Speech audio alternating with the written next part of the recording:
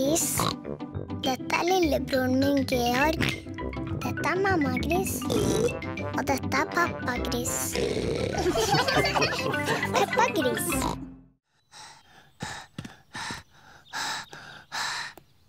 Draken vil ikke fly hvis det ikke er noen vind, samme hvor fort dere løper. Åh, Vi må bare vente til vinden tar seg opp litt. åh. Se, det blåser opp. Og når det blåser, kan dragen fly.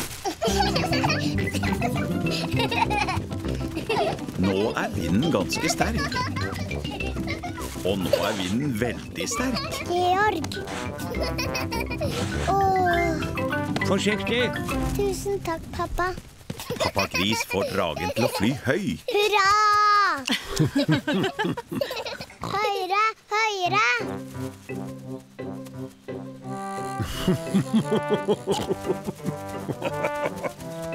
Pappa Gris er ordentlig flink. Wow! Ja, jeg er litt av en ekspert på dette. Pass deg for det treet. Dragen kan henge seg fast i det. Ta det med ro. Jeg vet hva jeg gjør. Dragen til pappa henger fast i treet. Å nei.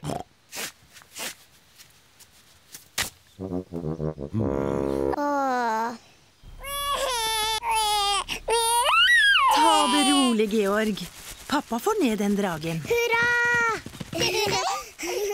Eh, ja. Forsiktig! Der er det en stor søledam. Peppa og Georg elsker å hoppe i søledammer. Kan vi få hoppe i søledammen? Vær så snill. Nei, dere må ikke bli skitne nå. Og Pass dere nå, unger. Dette ser ut til å være en fin plass å spise på. Åh, åh, oh. Åh, det er deilig å være ute. Vi burde løpe litt rundt, så vi får trent oss litt. Jeg vil spise og så sove litt. Jeg vil i hvert fall ikke løpe rundt. kanskje pappa burde løpe litt. Magen hans er veldig stor. Magen min er ikke stor, men senere skal jeg løpe litt. Selv om ingen andre vil. La oss spise. God idé, mamma gris. Jeg er ordentlig sulten. Mm, deilig. Åh, jeg ble så søvnig Jeg trodde du skulle løpe litt rundt, pappa gris. etterpå.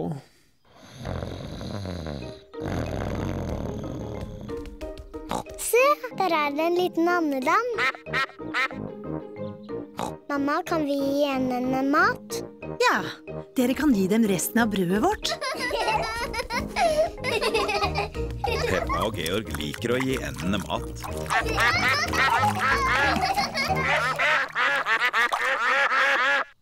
Mamma, jeg tror du vil ha litt mer. Det der var den siste brødbiten. De har sikkert fått nok. Og det var leit, fruan, men vi har ikke mer brød.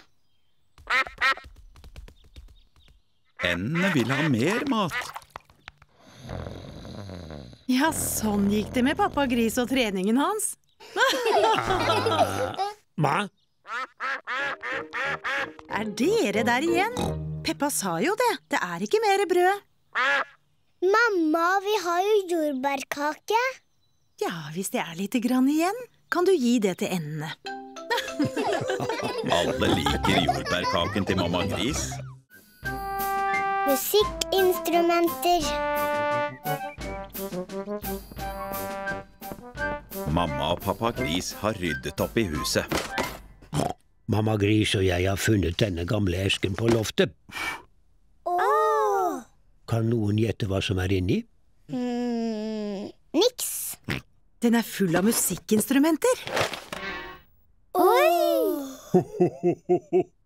De er litt gamle og støvete. Atsjo! Dette er fiolinen jeg pleide å spille på da jeg var liten. Kan du spille på fiolinen? Jeg har ikke spilt på veldig lenge.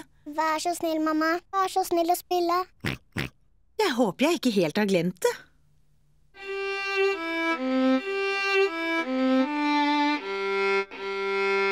Bravo! Hurra! mamma, kan jeg få spille fiolin? Du må holde den sånn. Ja, mamma. Oh. du store. Jeg tror ikke det er sånn det skal høres ut. Georg vil også prøve. Du må holde den sånn, Georg. Det høres heller ikke riktig ut. Det er altfor vanskelig å- spille fiolin. Peppa, kanskje det går bedre med denne tinntromma? Tusen takk, pappa. Det låter bedre. Peppa liker å spille tromme. Så fint! Ja, det høres riktig fint ut. Dette er pappas gamle trekkspill. Jeg pleide å spille på det for mamma Gris da vi var unge. Å, pappa gris. Jeg husker den melodien. Å, kjære. Georg har ikke lyst til å være en mark. Han vil være en sommerfugl. Georg, da jeg var en liten grisunge, likte jeg å leke at jeg var en mark. Det er ganske lett å være en mark. Nå skal jeg vise deg. Først må du legge deg ned på bakken. Så må du bukte deg omkring. jeg er en buklemark! mark. Georg og bestefar Gris synes det er kjempegøy å leke mark. Jeg er en liten sommerfugl. Jeg er en liten sommerfugl.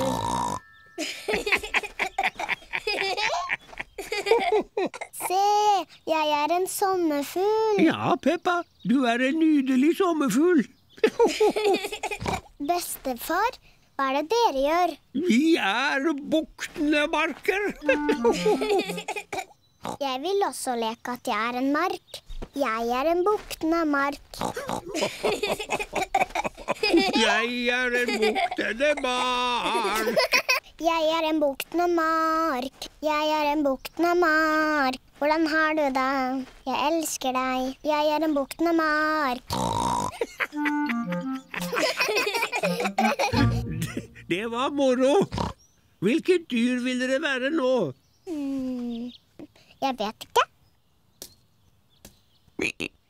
Se, bestefar, der er det en liten frosk. Hvorfor leker du ikke at du er en frosk? Mm. frosker er ikke så pene som sommerfugler, eller så morsomme som mark. Men frosker leker en lek du liker. Mm, leker frosker med dokkehus? Peppa og Georg leker på soverommet til mamma og pappa. Hva er dette? Peppa har funnet en eske med gamle klær. Oi! Dette er pappas hatt. Og dette er mammas kjole. Georg, vi kler oss ut og later som vi er mamma og pappa. Her er pappas hatt. Og her er pappas frakk. Hallo, pappa gris. Nå er det min tur. Dette er mammas kjole. Og dette er mammas hatt. Pappa Gris, hvor er skoene dine?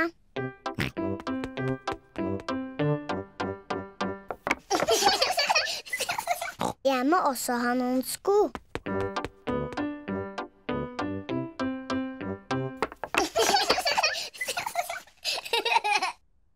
Må jeg pynte meg litt, akkurat som mamma. Peppa har funnet sminkeboksen til mamma. Aha. Først litt pudder. Nydelig. Og så litt leppestift. For en vakker mammagris. Kom igjen, pappa Nå må vi gå på jobben. Mamma arbeider på PC-en sin. Hallo, Peppa. Hallo, Georg. Jeg beklager. Peppa, jeg sa bare hallo. Jeg er ikke Peppa Gris. Jeg er mamma Gris. Å ja, så klart. Hallo, mamma gris. Hallo. Nye røde sko.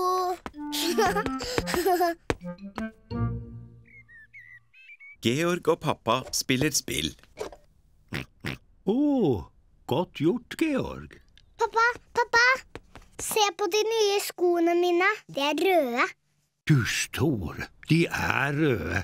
Mamma, liker du de nye skoene mine? Ja, Peppa, de får deg til å se ordentlig fin ut. Georg, liker du de nye skoene mine? Alle liker de nye skoene til Peppa. Jeg liker de nye skoene mine så godt at jeg aldri vil ta dem av. Peppa skal vaske seg, og hun vil ha på seg de nye skoene sine til og med i badekaret. Nå har Peppa på seg pysjamas, og ennå har hun skoene sine på seg. Peppa vil til og med ha på seg skoene sine i senga. Peppa, er du sikker på at du ikke vil ta av deg skoene dine? Jeg vil aldri ta av meg de nye skoene mine, mamma. Greit, det. God natt, Peppa og Georg.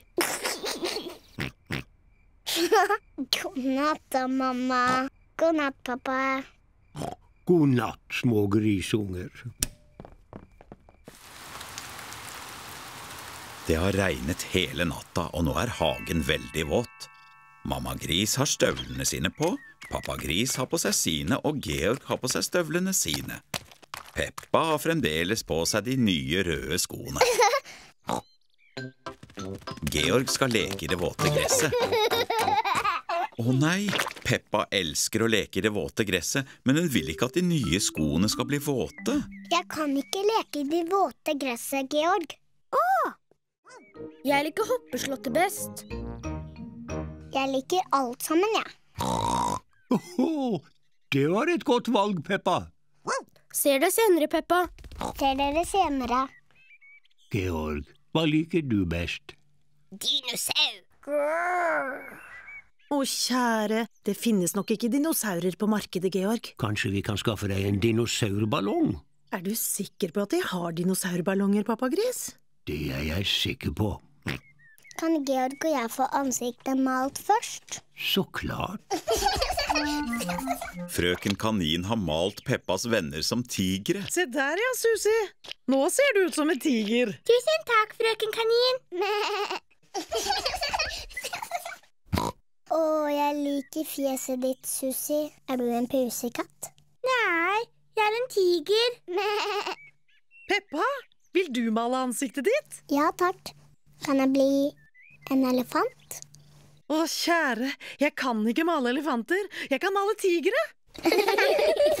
Ja, en tiger, takk. Se der ja, Peppa. Nå er du en tiger. Jeg er en tiger. Georg, hva vil du være da? Dinosaur. En dinosaur? Eh, hva med en tiger i stedet? Jeg er flink med tigre. Jeg er en tiger. Det er jeg òg. Tiger sier ikke voff voff, Hvordan vet du det? for tigre er store katter. Og jeg er en katt. Kara, kan du vise oss hvordan tigre er? Ok. Tigre kryper veldig, veldig langsomt. Og så hopp. Hopp.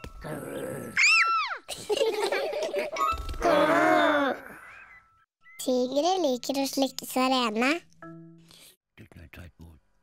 Oi, skikkelig gammel. Vet du, jeg tror tre lys er mer enn nok. Bursdagskaken til mamma Gris er ferdig. Hurra! Nå må vi bare ordne med pyntesakene i stua. Hallo, mamma. Å, der er dere jo. Jeg begynte nesten å kjede meg. Mamma, har du lyst til å gå en liten tur i hagen? Har jeg noe valg? Niks. Ha det, mamma. Ha en hyggelig tur. Vi roper når det er på tide å komme tilbake. Jeg hadde glemt hvor mye arbeid det er med bursdager. Pappa Gris, Peppa og Georg pynter i stua.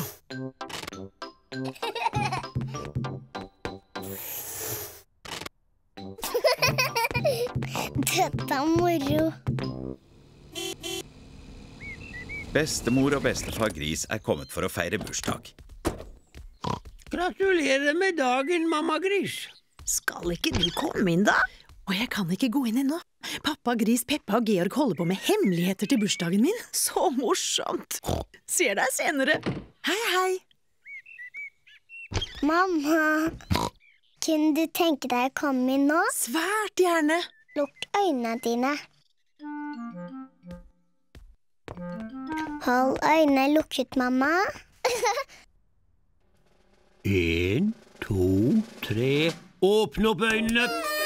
Gratulerer med dagen, mamma Gris! For en hyggelig overraskelse. Nå må du blåse ut lysene og ønske deg noe. Mamma, mamma, åpne opp presangen. Kan du gjette hva det er? Jeg aner ikke. Åpne opp og se! Det er jo en nydelig kjole. Peppa, hva er det du gjør? Jeg børster tanna mi så den er fin og ren til tannfeen. Peppa kan nesten ikke vente med å komme til sengs. Og så legger hun tanna si under puta, så tannfeen kan hente den. God natt, Peppa og Georg. God natt, mamma. God natt, pappa. God natt, mine små griser.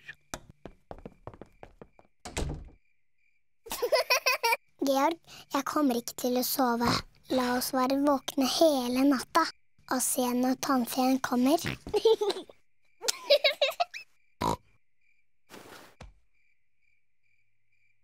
Denne tannfeen er veldig sen.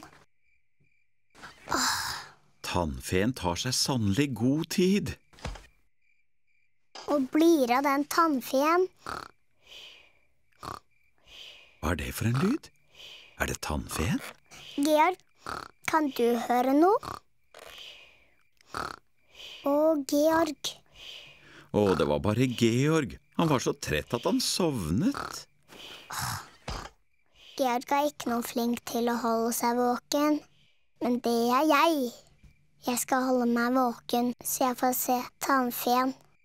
Jeg skal ikke sovne.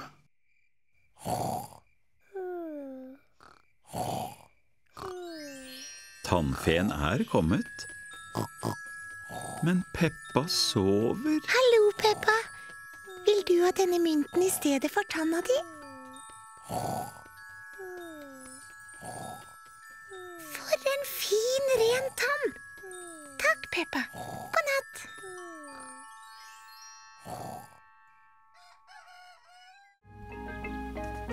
Peppa og familien hennes liker den nye blå bilen. Det er så mange knapper i denne nye bilen. Hva brukes den grønne knappen til, pappa? La oss se. Magiske vinduer! Få de magiske vinduene til å gå ned.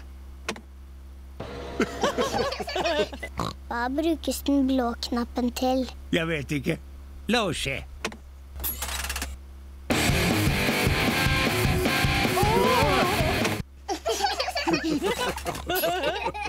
Jeg liker denne nye bilen. Kan vi beholde den? Nei, vi kan ikke beholde den, Peppa. Vi har bare lånt den for i dag. Å oh, nei, jeg tror det begynner å regne. Ja, jeg skal sette opp taket. Å, hvor er den knappen til taket da, Trond? Ops, dumme meg. Aha, dette er nok den knappen. Den nye bilen har sprutet vann på pappa. tull, pappa. Det er ikke taket. Denne knappen. Ops, nei. Denne, da. Pappa har glemt hvilken knapp det er som tar opp taket. Jeg tror ikke denne bilen liker meg. La oss prøve den røde knappen.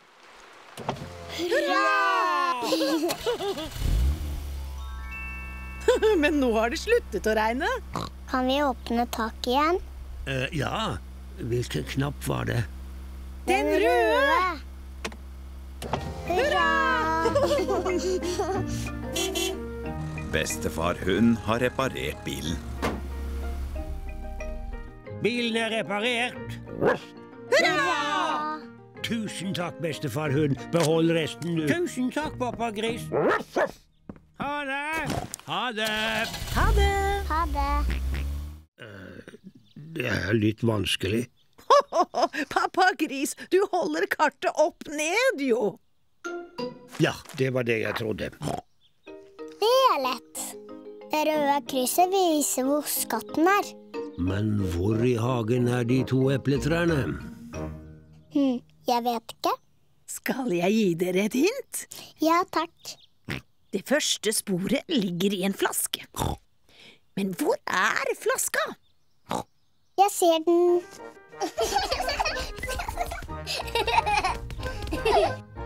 Peppa har funnet det første sporet. En beskjed i en flaske. Se alle sammen, her er flaska. Godt gjort, Peppa! La oss se hva som står på brevet. Å, det er en beskjed fra en sjørøver. Mamma, kan du lese beskjeden fra sjørøveren? Hmm. Denne sjørøveren har dårlig håndskrift. Sjørøverens håndskrift er ypperlig. Nei, jeg kan ikke finne ut av det.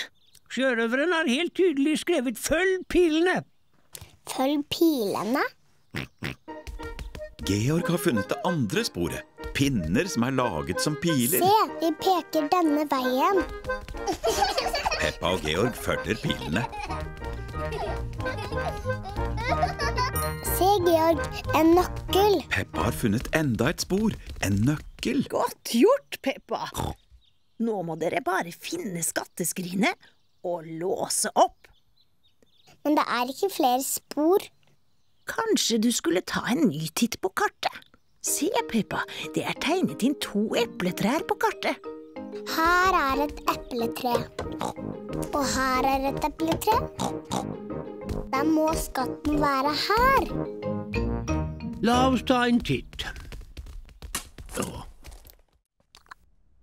Hmm. Ikke noe alvorlig. Peppa har bare litt utslett. Blir utslettene borte? Og utslettet gir seg ganske fort, men hvis du vil, kan jeg gi deg litt medisin. Ja takk. Jeg er redd det ikke smaker særlig godt. Åpne opp munnen. Åh, ekkelt. Du er sannelig tapper som klarer dette så bra. Peppa må holde sengen. Jeg ringer senere for å sjekke at hun er bedre. Kan Peppa få besøk? Å ja, hun kan ha besøk. Utslett er ikke smittsomt. Farvel. Farvel, doktor Brunbjørn. Mamma, kan jeg stå opp nå? Doktor Brunbjørn sier du må holde sengen en stund, Peppa. Men det er så kjedelig. Doktor Brunbjørn sa jo at du kunne ha besøk. Kan Susi Sau besøke meg? Susi Sau er bestevennen til Peppa. Jeg skal ringe mammaen til Susi Sau. Hallo, fru Gris. Kan Peppa få snakke med Susi, tror du? Hallo, Susi. Hallo, Peppa. Jeg føler meg ikke helt bra. Jeg har røde prikker i ansiktet. Har doktoren vært der? Doktor Brunbjørn var her. Han sa at jeg ikke var helt bra, og at jeg var tapper. Så du er virkelig syk? Ja, jeg later ikke sånn. Jeg må holde i sengen. Doktor Brunbjørn ga meg medisin. Den smakte helt pyton. Jeg kommer på besøk. Jeg skal ha på meg sykepleierklærne. Susi Sau er kommet på besøk til Peppa. Susi har på seg sykepleierklærne. Hasse Hund og Katrine Kanin er også kommet. Hallo, Peppa. Hallo. Og votter. Kom igjen, Georg. Peppa og Georg lager fotspor i snøen. De syns det er morsomt å lage fotspor i snøen.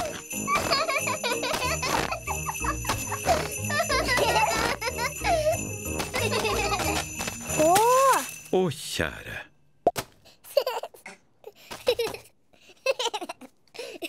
det var ikke morsomt.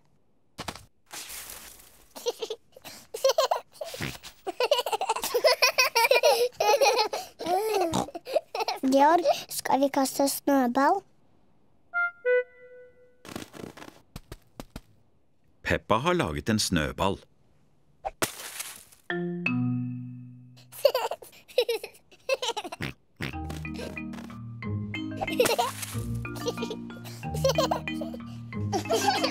Peppa og Georg har det veldig morsomt. Georg, kom tilbake, din tulling.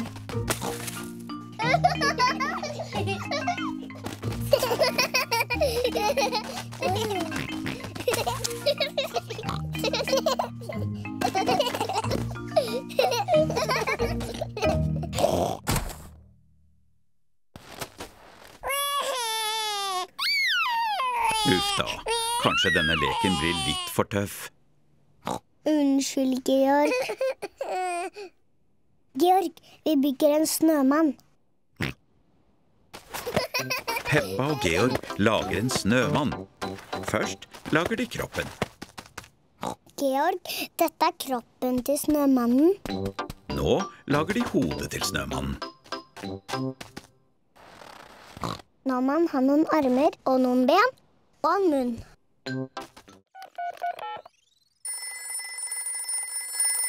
Hallo? Bestefar Gris, vær så god. Bestefar Gris, vi har kjørt oss bort litt på veien til det forblåste slottet. Ha-ha, er det pappa Gris som leser kartet? ja, pappa Gris leser kartet, og akkurat nå er han litt sur. Jeg er ikke sur. Ho-ho-ho-ho. Dette er den beste veien. Hold hovedveien til dere ser det forblåste slottet over dere. Tusen takk, bestefar Gris. Vi følger hovedveien og ser etter det forblåste slottet. Som jeg tenkte. Er det et slott? Ja, det er det forblåste slottet. Kom igjen, bil! Kom igjen, bil. Du klarer det. Hurra! Peppa og familien hennes er fremme ved det forblåste slottet. Det er så høyt. La oss gå inn. Utsikten fra toppen er fantastisk.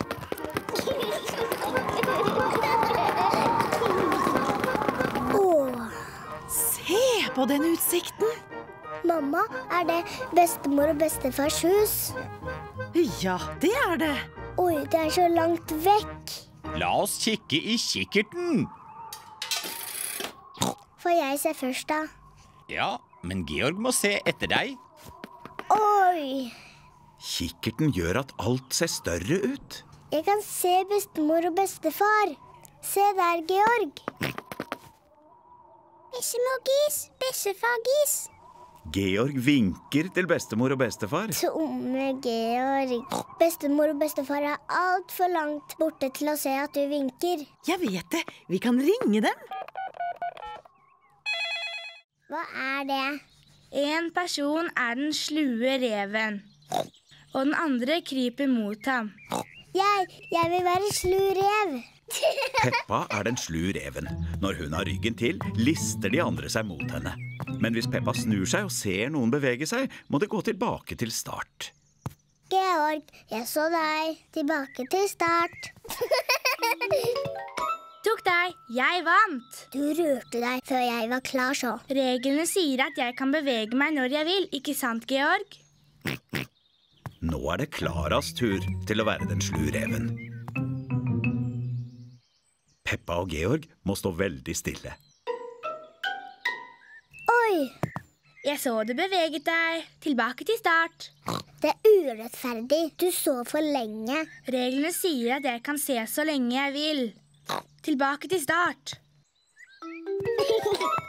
Georg har vunnet. Kan vi leke noe annet? Ja, hvis det er en lek for store. Jeg vet det! Vi leker ynglingsleken min. Den er for skikkelig store. Georg, vet du hva Peppas yndlingslek er? Peppas yndlingslek er å hoppe opp og ned i søledammer. Georg, hvis du skal hoppe i søledammer, så må du ha på deg støvler. Jeg har tatt med noen støvler til deg òg, Klara. Jeg er altfor stor til å hoppe i søledammer. Åh, Det er jeg òg. Georg elsker å hoppe i søledammer. Egentlig vil Peppa gjerne hoppe i dammen, men hun vil gjerne virke stor. Jeg hører det er litt damhopping på gang. Mamma og pappa Gris elsker å hoppe i søledammer. Det ser morsomt ut. Ja, det gjør det.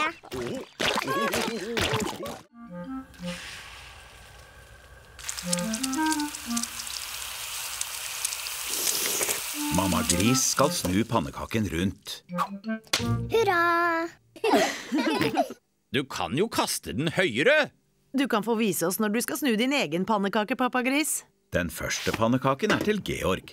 Mamma Gris heller litt sirup på pannekaken til Georg. Herlig. Den neste pannekaken er til Peppa. Hurra! Du kan kaste den høyere! Du får sjansen til å vise meg når du skal snu din egen pannekake, pappa Gris. Sirup, takk.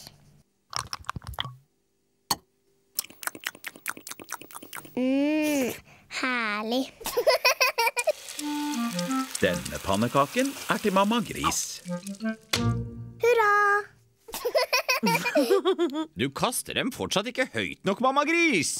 Den neste pannekaken er din, pappa Gris, så nå kan du vise oss hvordan det skal gjøres. Mm, mm, mm, herlig! Mm. Ho, ho, ho, ho. Er alle klare? Hemmeligheten med å lage en god pannekake er å kaste den høyt opp i lufta. Og én, to, tre Hoppla!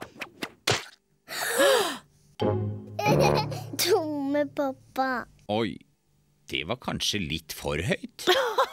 Så synd! Det var den siste pannekaken. Det burde være en enkel sak å få den ned. Å nei, pappa Gris klarer ikke å nå pannekaken. Ikke vær redd, pappa Gris. Jeg tror jeg vet en måte å få den ned på. La oss gå opp i annen etasje, barn. Kom nå! Så går mamma Gris og pappa Gris ut for kvelden.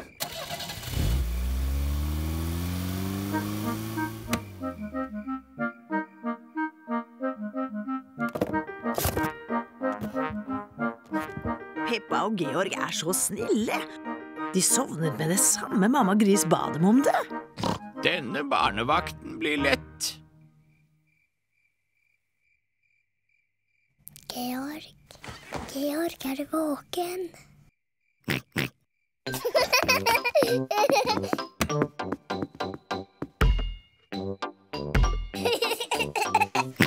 Hysj.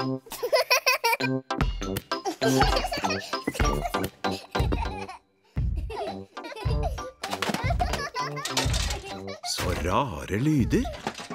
Lurer på om vi skal ta en titt ovenpå.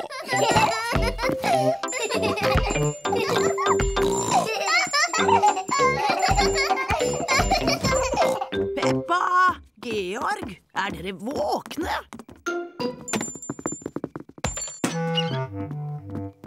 Nei, nå har jeg aldri. De sover jo. Så det var ikke Peppa og Georg som lagde all den lyden, da.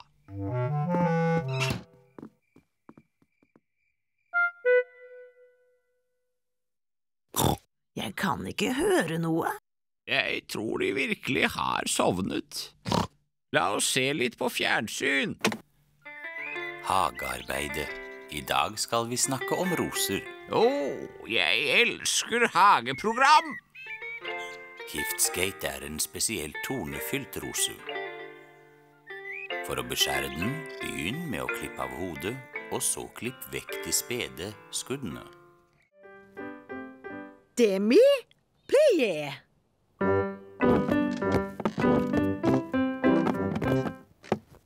Så et lite hopp. Petit jeté.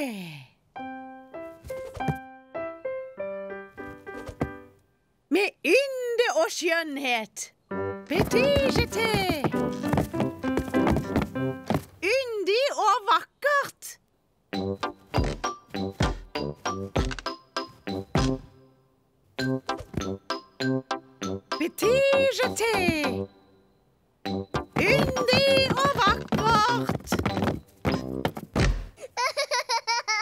Ballettimen er kjempemorsom. Løft armene. Lat som dere er vakre svaner.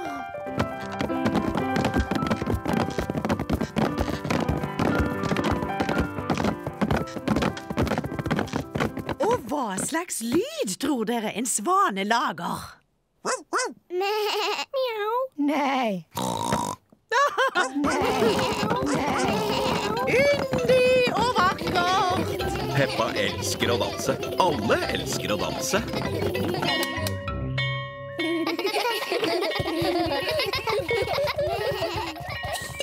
Mamma, mamma. Alle danset som svaner. Peppa var veldig flink. Jeg måtte danse yndig og vakkert. Neimen, så fint, da. Kan jeg vise deg hva jeg gjorde? Vi går hjem først. Da kan du vise det til både pappagris, Georg og meg. Ha det.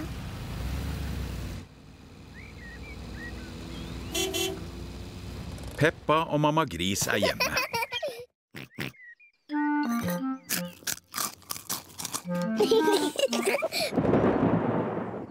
Hva er den merkelige lyden?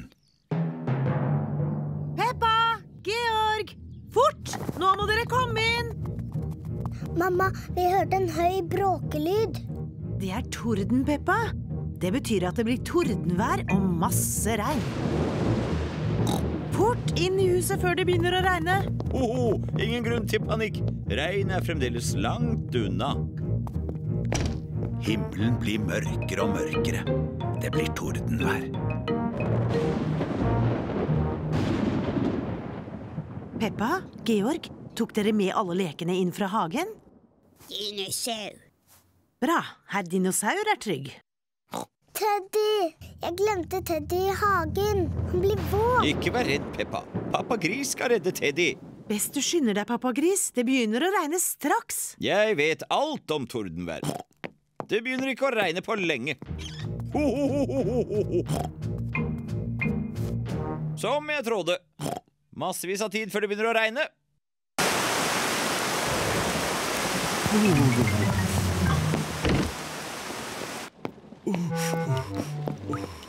Stakkars Teddy. Han er dyvåt. Ja, stakkars Teddy. Jeg skal tørke ham. Stakkars Teddy. Sånn, Teddy.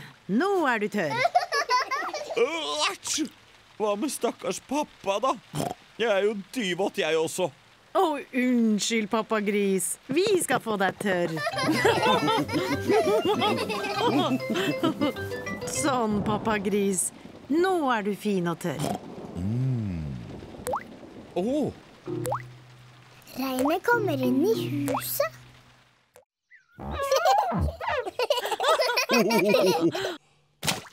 Du store verden, Georg har mistet svampen i en søledam. Georg, du skitner jo til bilen igjen. Jeg skal vaske søla. Peppa, ikke bruk sø... Løvannet. Oi sann, Peppa har kastet sølevannet over hele bilen. Det gjør ikke noe. Vi spyler det av med hageslangen. Ja, ja. For jeg holder slangen.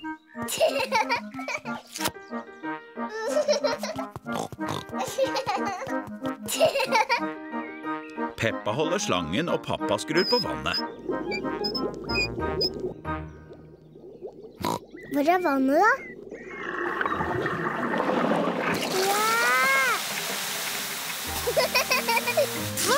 Peppa, hold opp! Unnskyld, mamma. Åh! Pappa Gris, vær så snill å skru av vannet. Å! ho. Ingen grunn til panikk. Du store verden, alle er våte. Ho, ho, ho, ho. I det minste ble bilen vasket. Vi ble vasket alle sammen. Gå og tørk dere mens jeg polerer bilen. Ser deg senere. Ser dere senere.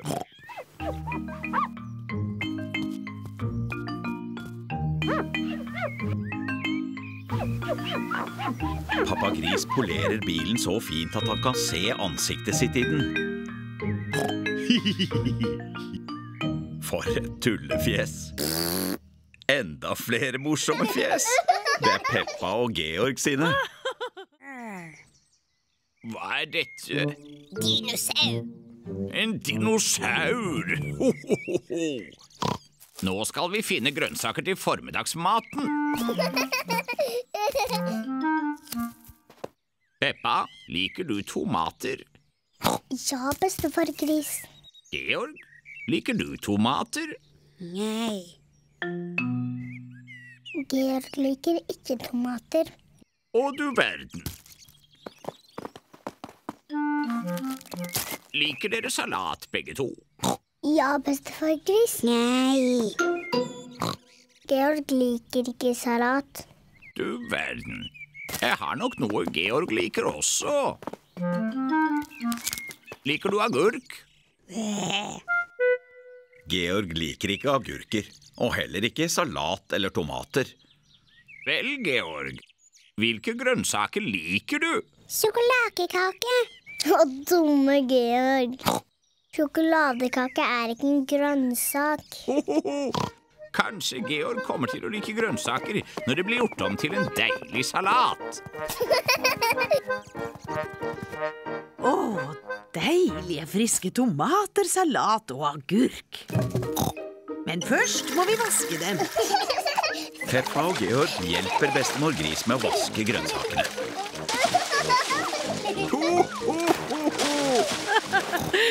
Kanskje det er nok vasking? Bestemor Gris har laget en salat av tomatene, salaten og agurken. Bestefar Gris, kan du si til alle at det er formiddagsmat? Formiddagsmat! Bestemor Gris har laget pizza. Og her er det salat, laget av tomatene, salaten og agurken til bestefar Gris. Bare hugg inn! Å, Er disse pluggene til noe? selvsagt! Jeg glemte jo pluggene. Pluggene holder teltet oppe. Sånn! Teltet er litt lite. Det var stort nok for meg da jeg var liten gutt, men det ser litt lite ut nå. Det er fordi du har vokst litt siden du var liten gutt, pappa Gris. Og magen din har vokst mest av alt. Når vi snakker om mager, vi skal jo lage aftens. Ja, ja! Først må vi samle kvister for å lage bål. Jippi! Peppa og Georg hjelper pappa Gris å samle kvister til leirbålet. Georg, jeg kan finne kvistene, og du kan bære dem. Det er gøy å samle kvister. Fint, det er nok kvister.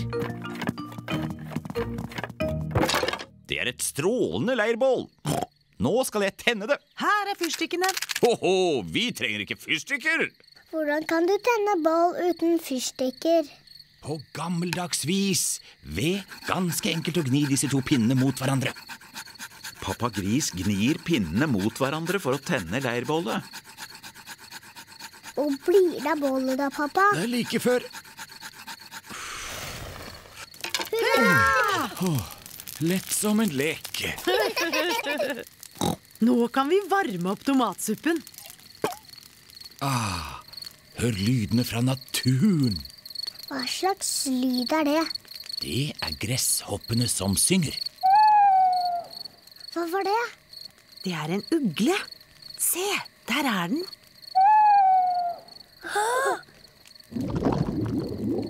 Hva er det for en lyd? Åh, Jeg er ikke helt sikker. Det er mage. Hurra! Peppa og Georg liker trehytta veldig godt. Tusen takk, bestefar Gris. Tusen takk, bestemor Gris. Ho-ho-ho. Hvem har lyst til å gå inn først? Jeg, jeg. Inn med deg, da. Før jeg går inn i trehytta mi, må jeg ta av meg de skitne støvlene mine. Jeg er i trehytta mi. Jeg er i trehytta mi. Georg, har du lyst til å gå inn i trehytta òg? Ja, hvem er det? En liten gris som heter Georg vil gjerne besøke deg. Kan han komme inn? Hvis han tar av seg de skitne støvlene sine, så. Georg, ta av deg støvlene dine, og så kan du besøke Peppa i trehytta. Hvem er det? Georg?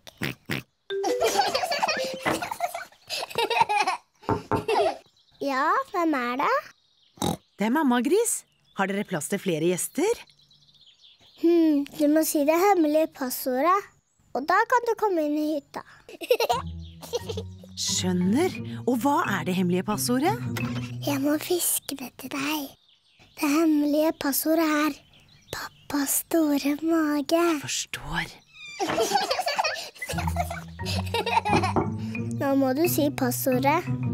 Pappas store mage. Det er riktig. Pappas store mage. Jeg syns det er et dumt hemmelig passord.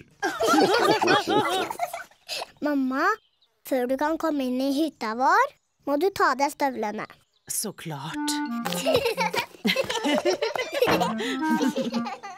Det er plass til pappa også. Nå er Peppa og familien hennes kommet fram til onkel og tante Gris. Hallo, tante Gris og onkel Gris. Hallo! Hallo, alle sammen. Hallo, storebror. Onkel Gris er pappa Gris' storebror, og Klara er kusinen til Peppa og Georg. Hallo, Klara. Hallo, Peppa. Hallo, Georg. Det er noe jeg vil vise dere. Vent på oss. Dette er det nye, fine dukketeatret mitt. Det er pappa som har laget det til meg. Oi. Jeg har laget to dukker allerede. Denne her heter Klara. Hallo, jeg er Klara Gris. Og dette er pappaen min. Onkel Gris. Hallo, Peppa. Jeg er onkel Gris. Klara, kan jeg og Georg få lage dukker også? Ja, Klara maler øyet på dukken. Får jeg tegne munnen? ok. Jeg heter Peppa. Georg, hvilken dukke vil du lage? Dinosaur. En dinosaur? Georg sier alltid dinosaur til alt. Ok, en skummel dinosaurdukke. Klara lager en dinosaurdukke til Georg. Den må ha spisse tenner. Sånn, en skummel dinosaur.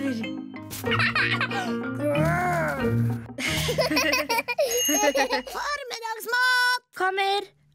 Og etter maten skal vi spille dukketeater. Hurra! Tante Gris har laget spagetti til alle sammen. Denne spagettien er nydelig! Verdens beste spagetti! Det er lett å se at dere to er brødre. Like som to dråper vann. Hva er det du mener?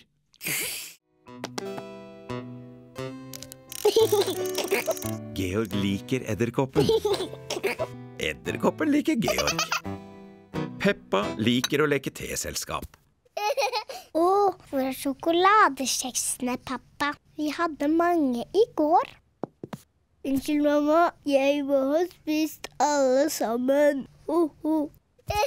Tullete pappa.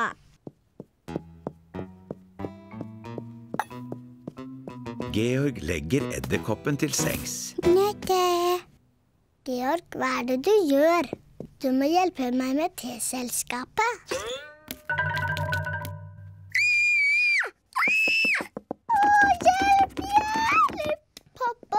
En edderkopp på rommet mitt. Ho-ho, ta det rolig, Peppa. Og vær så snill, pappa, ta den vekk. Ho-ho, ikke få panikk. Hallo, Georg. Har du sett edderkoppen? Å, den er så skummel. Ta den vekk. Det er ingenting å være redd for, Peppa. Edderkopper er veldig, veldig små. De gjør det ingenting. Ikke vær redd. Pappa skal ta den ut av soverommet. Oi! Den er ganske stor, er den ikke? Uh, jeg skal bare hente mamma Gris. Mamma Gris! Hallo, er edderkopp. Peppa føler seg litt modigere. Den liker å være i dukkehuset. Hallo, unger. Jeg hørte at dere har funnet en liten edderkopp. Jeg skal ta den ut herfra, så kan dere fortsette å leke. Mamma, den heter her Edderkopp. Herr Edderkopp er stor, er han ikke? Peppa og Georg liker edderkoppen. Jeg fant tomatene. Godt gjort, Peppa.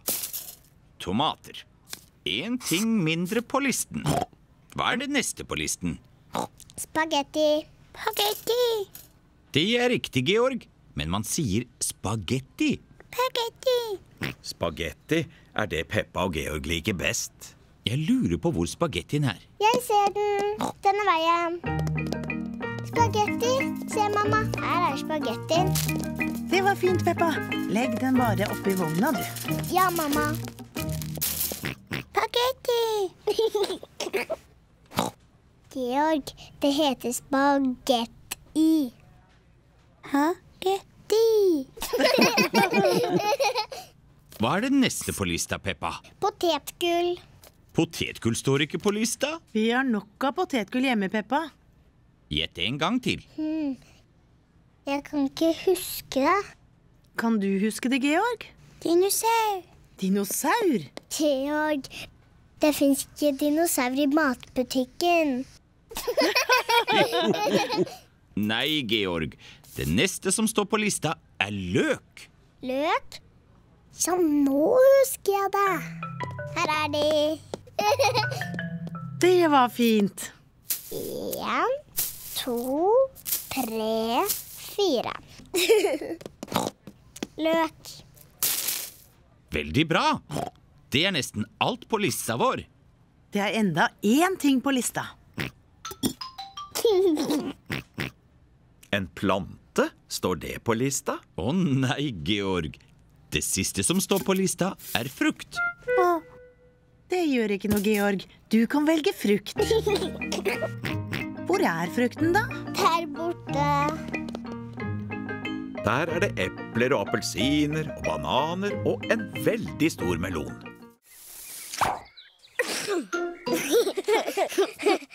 Georg, du blåste ikke hardt nok. Jeg vet hvordan Georg kan lage bobler. Dypp pinnen i såpen. Så tar du den opp og vifter med den. Bla, bla. Det går enda bedre hvis du løper. Bla, bla.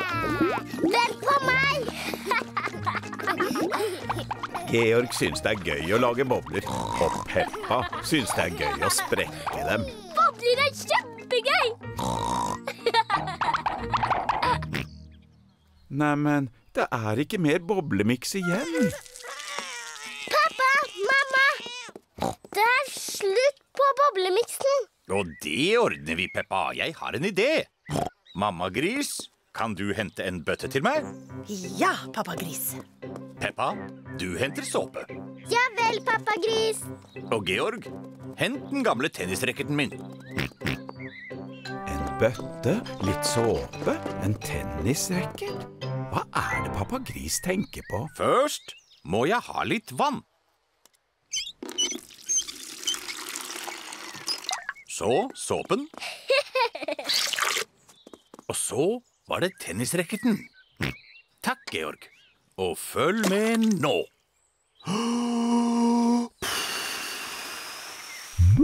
Wow!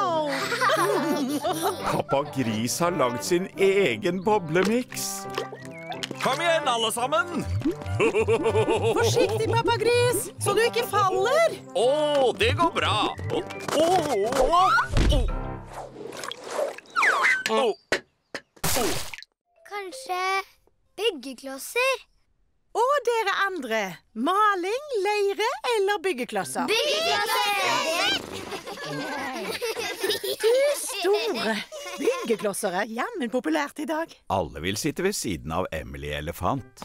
Emily, du må sette en kloss oppå en annen. Sånn her. Det er bedre å sette dem ved siden av hverandre. Nei, på denne måten, Emily. Sånn her skal det gjøres, Emily. Nei. Nei, Emily. Se her. Dere er veldig hjelpsomme alle sammen, men Emily, hvordan vil du leke med klossene? Um, jeg er ikke helt sikker. Kanskje jeg skal gjøre sånn? Wow! Emily Elefant er flink med byggeklosser. Nå er det frikvarter. Emily, vil du leke ute sammen med de andre? Å ja! Kan noen vise Emily hvor vi leker? Ja da, fru Gaselle.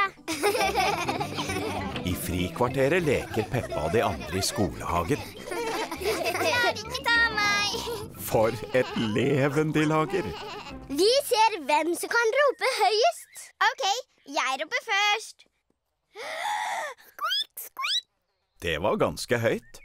Nå er det Zoe Sebras tur. Så Sussi Sau og Hasse Hund. Det var veldig høyt. Min tur. Min tur. Nei. Min tur. Peppa er høyest. Emily, nå er det deg. Jeg vet ikke om jeg tør. Å jo, Emily. OK, da prøver jeg. Bestefar, kan Polly komme ut av buret? Ja, men dere må holde alle dører og vinduer lukket, så Polly ikke flyr sin vei. Ja, bestefar Gris. Ha det bra, Peppa. Ha det bra, Georg. Ha det bra, bestemor. Ha det bra, bestefar. Ha det bra, bestemor! Ha det bra, bestefar! Har du lyst på en kopp te? Har du lyst på en kopp te? Georg har i fuglefrø til Polly. Georg, det er for mange fuglefrø. Polly blir bare kjempestor og sprekker som en ballong. Poff! Sprekker som en ballong! Poff!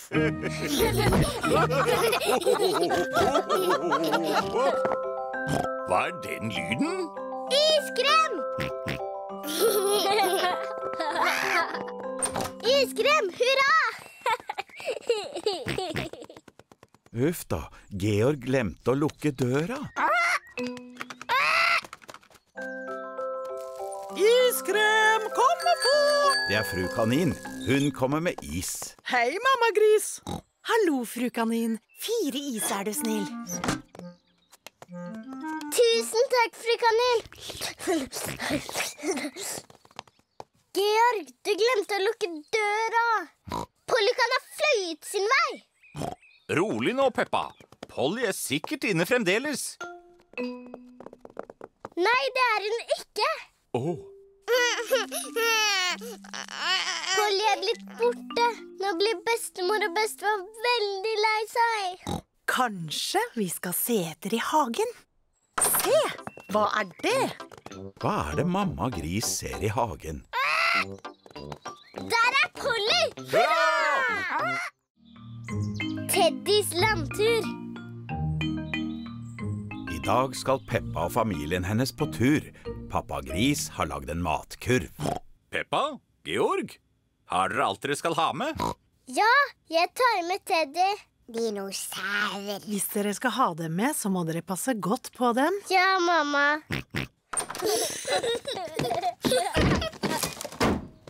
Er alle klare? Ja, pappa Gris. Da kjører vi! Georg har glemt igjen herr dinosaur. Å, Georg. Du må ta bedre vare på herr dinosaur. Dinosaur! Er alle sammen helt sikre på at det ikke er noe mer vi har glemt igjen? Ja, pappa Gris. Teddy! Jeg har glemt Teddy. Hvor la du igjen Teddy, da? Jeg tror det var på kjøkkenbordet. Peppa, du må lære deg å ta vare på Teddy. Teddy! Da prøver vi igjen.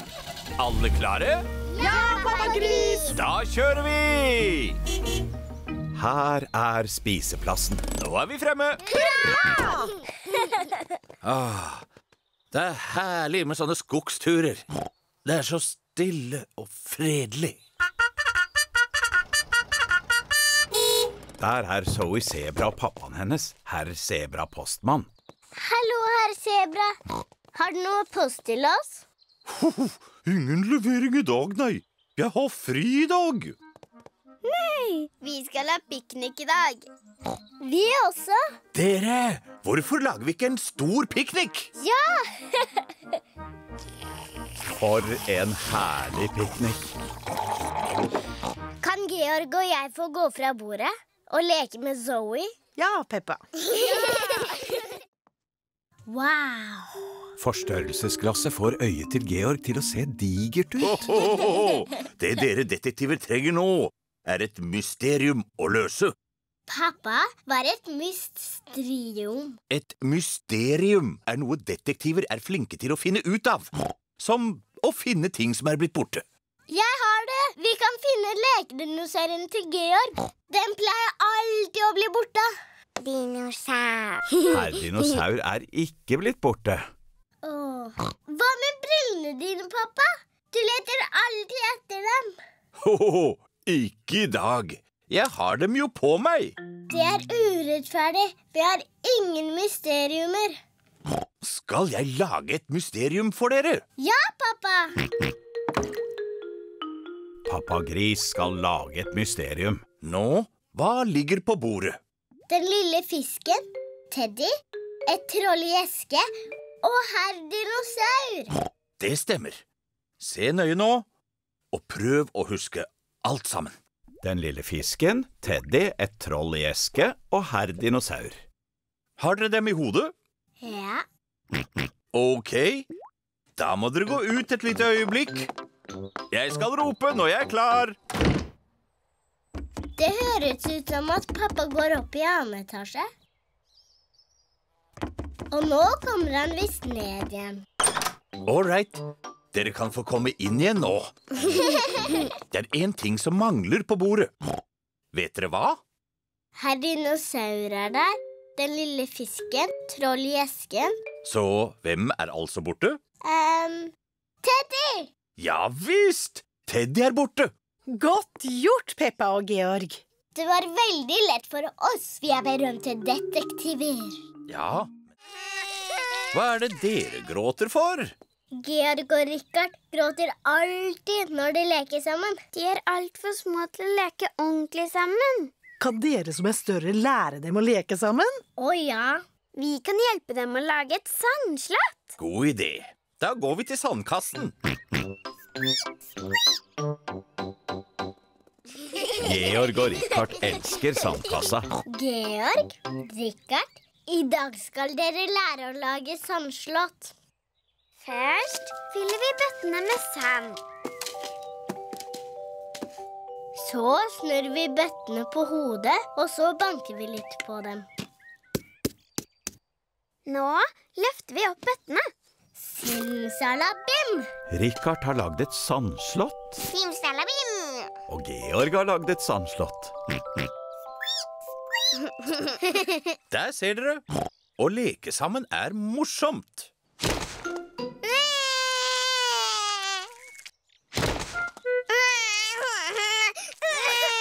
Uff da, denne leken har ikke gått så bra. Det er broren din sin skyld. Han ødela Georgs sandslott. Det var broren din som ødela sandkjøttet til broren min først. Så så. Dere store jenter skulle jo lære Richard og Georg å leke fredelig sammen. Det er sant. Vi er store jenter. Og Georg og Richard er for små til å leke ordentlig sammen. Hmm. Jeg har en idé.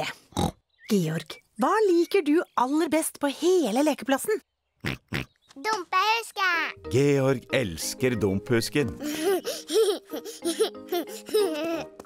Dumpehuske. Det er litt vanskelig å leke på dumphusken alene. Ha det bra, små fugler. Vi skal lage et fugleskremsel. Her er redskapsbua til bestefar Gris. Her er det nok av ting å lage fugleskremsel av. Først må vi ha to stokker og litt hyssing. Vi skal finne det. Peppa har funnet to stokker, Georg har funnet hyssing. Flott! Jeg binder stokkene sammen for å lage kroppen. Bestemor Gris har funnet litt strå og en gammel sekk. Det er flott. Jeg putter strå i sekken og lager hodet. Så må vi ha noe fugleskremselet kan ha på seg. Jeg har en veske med gamle klær. Georg har funnet en kjole. Tullete Georg, herr fugleskremsel vil vel ikke ha på seg kjole? Peppa har funnet en frakk. Det var fint, Peppa. Georg har funnet en hatt. Det var fint, Georg. Herr Fugleskremsel trenger et ansikt. Ja, det er sant. Kanskje du og Georg kan male ansiktet? Ja, gjerne. Georg maler øynene og nesen. Peppa maler munnen. Fantastisk! Herr Fugleskremsel er klar. Hurra! Småfuglene er ute etter bestefar Gris fuglefrø. Se, småfuglene er tilbake. Ta det med ro, Peppa. Herr Fugleskremsel vil skremme dem bort.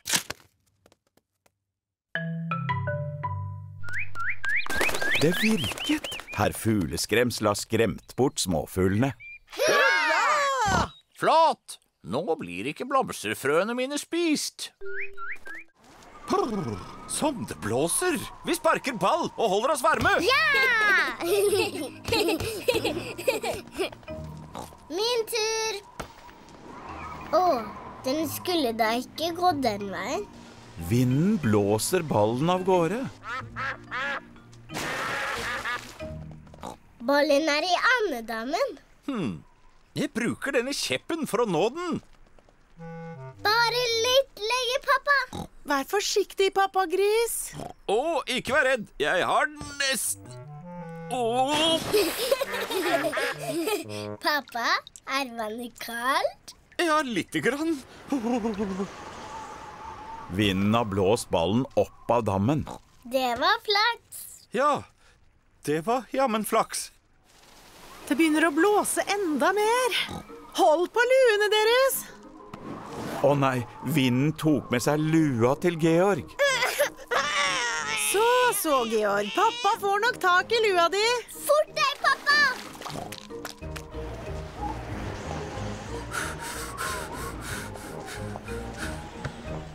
Se, den er i det lille treet. Jeg får klatre opp og hente den. Treet er altfor tynt til å tåle vekten din, pappagris. Så hvordan skal vi få lua ned? Enkelt. Jeg bare rister litt på treet. Hm, kanskje jeg må riste litt hardere.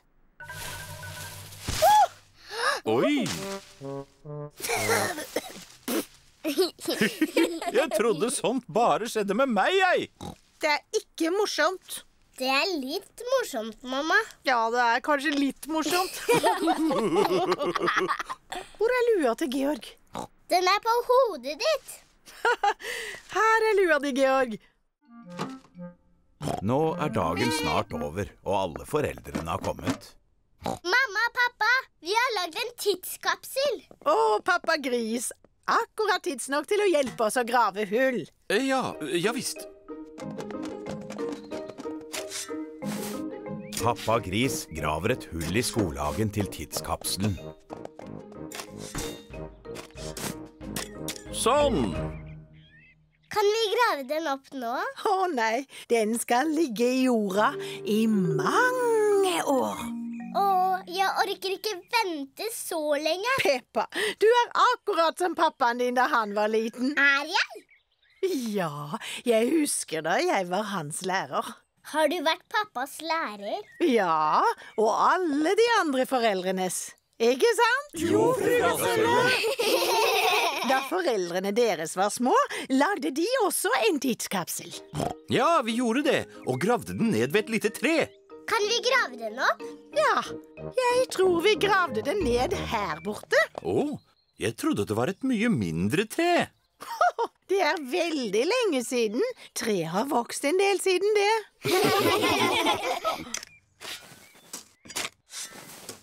Jeg har funnet noe. Den gamle tidskapselen vår. Og gleder meg til å åpne den. Gå litt unna nå, barn. Nå skal vi se hva vi har her. Å, en gammel tegneserie. Det var favorittserien min. En tinnleke. Favorittleken min. Musikk. Favorittplata mi. Og en veldig gammel gulrot. Og den er min. For et godt valg, mamma. Og et videobånd av foreldrene deres da de var små. Det er en mynt. Wow. Kanskje det er en sjørøverskatt? Åh, vi kan lage en samling av alle tingene vi finner. Ja. Vi legger dem i bøtta til Georg. Hva tror dere vi finner i denne kulpen? Det er ikke noe spesielt i denne. Ohohoho! Det er alltid noe, Peppa. Se godt etter. Å ja, det er noe der. Ja, det er en krabbe. Au! Krabben klyper bestefar i fingeren. Oh. Au! Så slem du er, herr Krabbe. Se, Georg.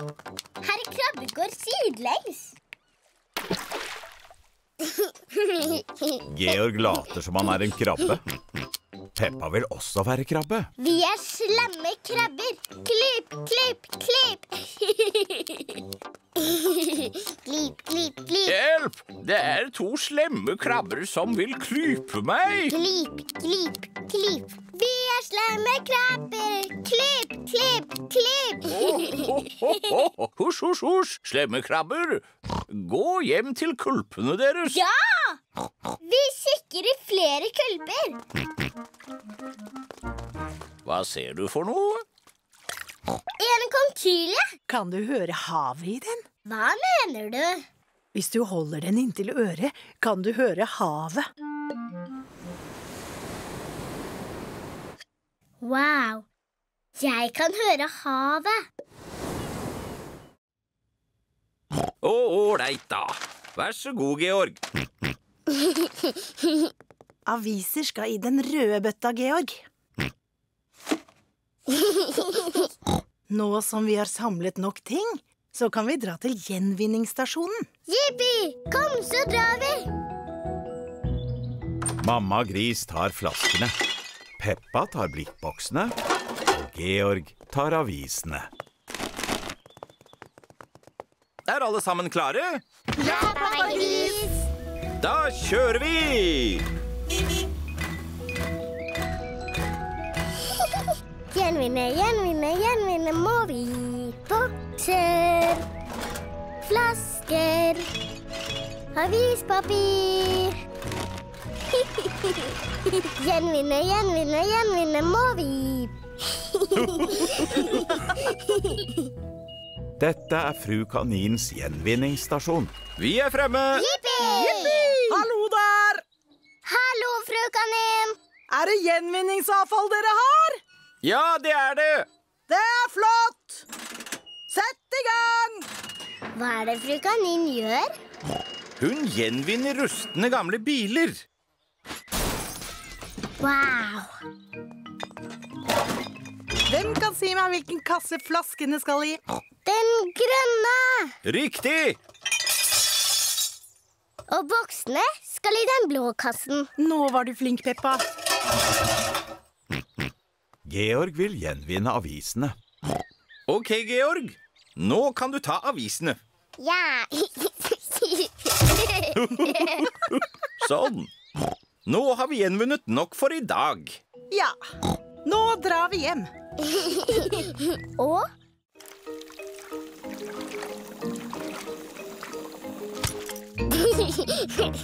Georg liker trekkoppbåten sin. Mamma, kan du trekke opp båten min? Din båt trenger ikke å trekkes opp, Peppa. Peppas båt er en seilbåt. Vinden blåser den framover. Jeg liker ikke båten min. Den gjør jo ingenting. Det er fordi det ikke blåser i dag. Kanskje den bare trenger litt hjelp. Jeg skal puste og puste og blåse båten din av sted. Hurra! Den gikk veldig fort. Peppa liker seilbåten sin. Her er Peppas venn, Susi Sau. Hei, alle sammen. Hei, Susi. Vi leker med båtene våre. Jeg har med speedbåten min. Må den trekkes opp? Nei, den har batterier. Susis speedbåt må ha batterier for å gå. Åh. For en fin speedbåt! Unnskyld, fruen. Her er Hasse hund med bestefar hund. Hei, alle sammen. Hei, Hallo, Hasse. Se på den nye julebåten bestefar har lagd til meg. Du verden, det var fine greier. Hva driver den? Den er dampdrevet. Jeg bare slår på denne spaken. For en fantastisk julbåt! Her er Katrine Kanin med moren sin. Hallo, alle sammen. Hei, Katrine. Vi leker med båtene våre.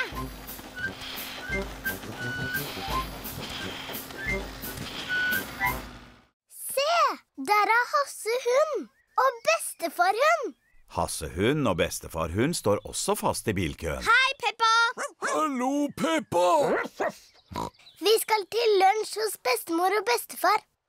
Nå kommer vi for sent. Klokka er ett. De er sent ute. Som vanlig. Hvordan går det med potetene? Um, de må nok stå i ovnen litt til. Det er bestemor Gris. Hallo, bestemor Gris. Vi står fast i bilkø. Ingen fare. Vi er også forsinket. Bestefar Gris har brukt altfor mange poteter. Jeg ser dere snart, da. Stakkars, de står fast i en bilkø. Høres ut som jeg har tid til å hente noen poteter til. Bestefar, da. Det går så sakte framover. Vi kommer aldri fram til bestemor og bestefar. Peppa har rett. Vi bør prøve en annen vei. Men det er ingen andre hovedveier.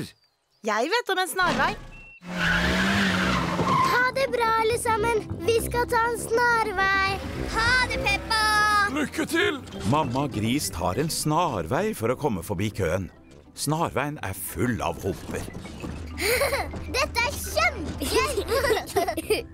Er du sikker på veien? Ja da. Hallo, ener. Vi tar en snarvei, vi. Se, der har vi hovedveien igjen. Godt gjort, mamma Gris. Men vi er fortsatt bak bilen til Hasse. Hallo. Velkommen tilbake. Øff da, snarveien til mamma Gris hjalp ikke det spor. Flott. Lunsjen er klar. Og det viktigste av alt, potetene er ferdige. Lunsjen er klar, men Peppa og familien hennes har ikke kommet ennå. Kan vi ikke få leke ute bare litt til? Ho-ho-ho! Nei, dere skal bade nå. Ja, bading! Er ikke du og Georg søvnige? Nei, pappa. Vi er ikke søvnige i det hele tatt, vi. Om ikke Peppa og Georg er søvnige, så er jeg det. Jeg også. Før sengetid tar Peppa og Georg et bad. Peppa liker å plaske. Georg liker å plaske. Peppa og Georg liker begge å plaske. Nå er det nok plasking. Nå må dere opp og få på dere pysjene. Å, kan vi ikke få bli i badekaret bare litt grann til? Ho-ho! Nei, nå er badet over. Nå må dere pusse tennene. Før de legger seg, pusser Peppa og Georg tennene.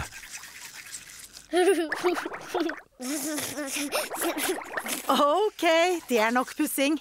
Opp i sengene. Å, jeg tror tennene våre trenger litt mer pussing. Når dere har lagt dere, skal pappa Gris lese eventyr.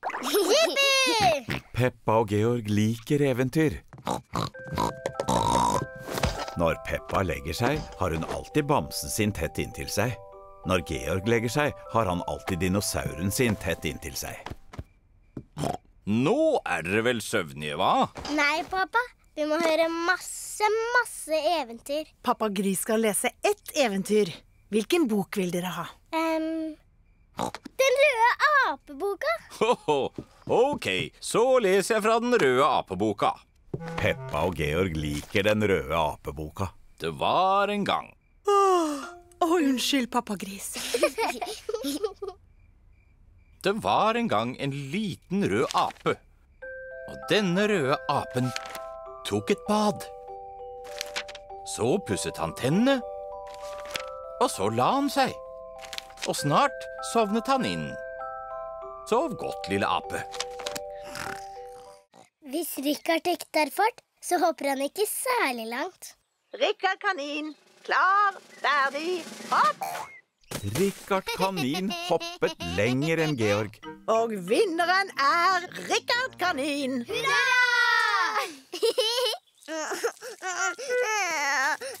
Georg, du må huske, det viktigste det er ikke å vinne, men å delta. Neste øvelse er stafett. Hvert barn må velge én forelder å løpe med. Peppa, velg meg! Velg meg! Men pappa, du er jo ikke flink til å løpe.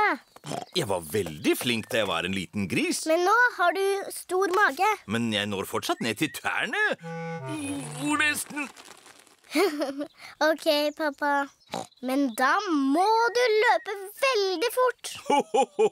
Mødrene og fedrene skal løpe første del av løpet, og så gi pinnene til barna. Mammaer og pappaer, klar, ferdig, gå!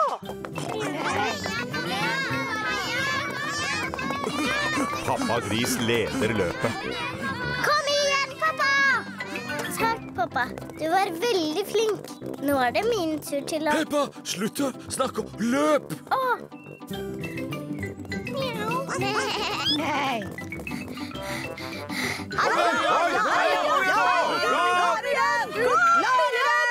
Og vinneren er Emily Elefant. Hurra! Å, pappa. Jeg har ikke vunnet noe ennå. Så så, Peppa. Det er en øvelse igjen. Og nå klar for dagens siste øvelse. Tautrekking. Guttene mot jentene. Når jeg sier trekk, må dere dra i tauet av alle krefter. Mamma, jeg må ha briller. Hva? Pedro ga meg en synsprøve, og jeg trenger briller. Jeg tror synet ditt er helt fint. Nei, mamma. Når jeg lukker øynene, så ser jeg ingenting. Men det er ingen som kan se noe med lukkede øyne. Åh. Hva er dette med å trenge briller? Pedro kan alt om briller, han. Faren hans er op optiker. Ja vel, Peppa. Da tar vi deg med til optikeren til en synsprøve. Kan vi gå med én gang? Georg, vil du også ha synsprøve? Nei.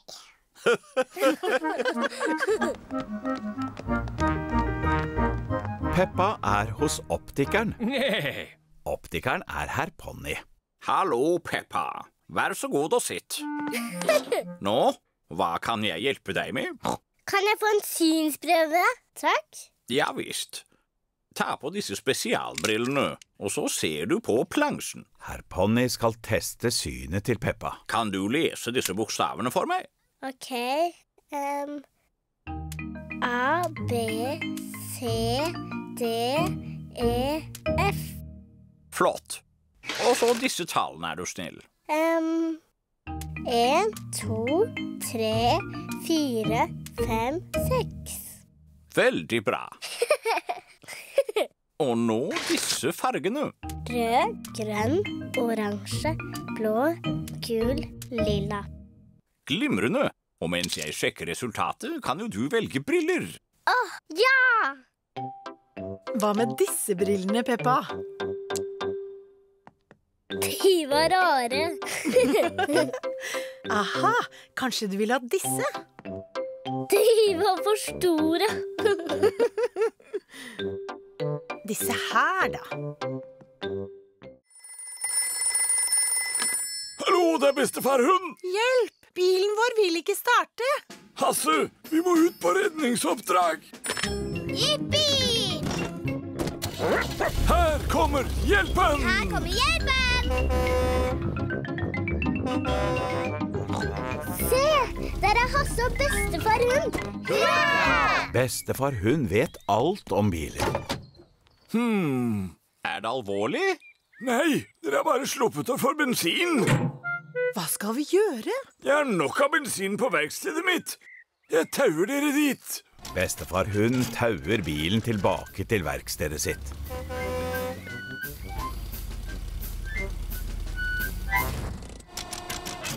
Bestefar Hund fyller bensin på bilen.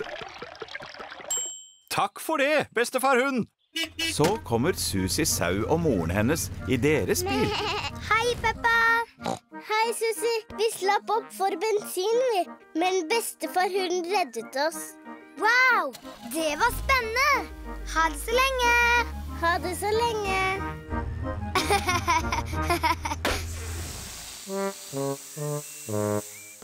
Å nei, all luften har gått ut av dekket. Må bestefar Hund komme og redde oss? Han må nok det. Hallo, det er bestefar hund. Jeg skjønner. Ikke få panikk, mamma sau. Jeg kommer. Her kommer hjelpen! Kan jeg få bli med? Hopp om bord, Peppa. Her kommer hjelpen! Her kommer hjelpen. Hallo, Sussi! Vi er kommet for å redde dere. Hurra!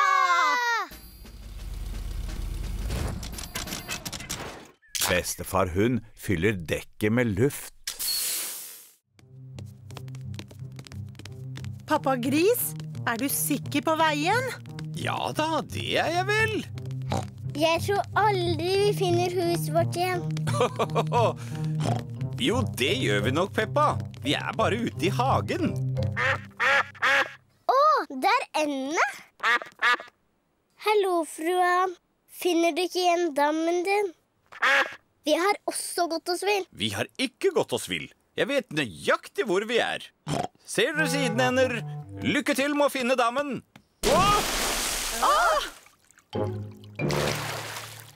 Pappa Gris fant andedammen. Det var flaks. Ja, du snakker om flaks. Pappa, fru Ann sier tusen takk. Bare hyggelig, fru Ann.